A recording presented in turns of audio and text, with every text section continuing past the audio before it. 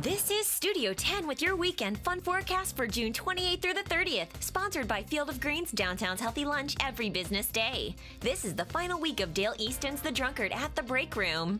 But I didn't know how to spell. It's being performed Friday and Saturday at 7:30, followed by Olio and Vaudeville. Get your tickets at breakroomdowntown.com. Pig and Pour is a new food and drink festival featuring a wide array of bacon, sausage, and pork. Plus local beer and live music by Paradise Band. It's Saturday from 2 to 5 in Exhibition Hall. Go behind the scenes at the Kansas Museum of History's archives and archaeology collections, learning about excavation and preservation. This fascinating 90 minute tour is Saturday at 2. The Sunshine Reggae Roots Festival returns to downtown, bringing local and national bands like the Rougher All Stars.